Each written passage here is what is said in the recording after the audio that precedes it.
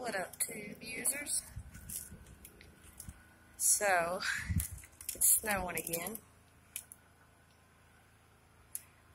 But, that job that we did yesterday, we didn't get to finish because we ran out of storage space. That shit crammed in there. From the ceiling all the way to the door. And the guy knew about that being a possibility, and he's going to get a smaller storage so we can get the rest of the stuff in there. We're going to have to go and get that tonight and then put it in in the morning since there's no 24 hour access. Just now realized there's a stop sign right there. Don't know how long that's been in this yard. But we'll be done with that by tomorrow afternoon sometime. Getting paid for the job and finishing everything up, the storage, all that good stuff.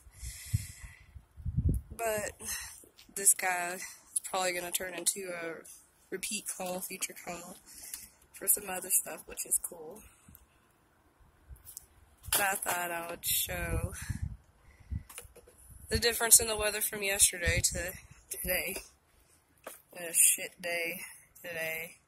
It'll be a little bit warmer tomorrow, but the next three days after that will be nice.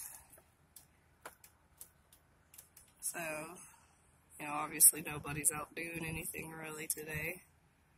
Especially because it's a holiday anyways. I do like the snow, but then I don't because it really makes things slow. So I'm glad that we had this job, this big one, that we get to finish up and all that good shit.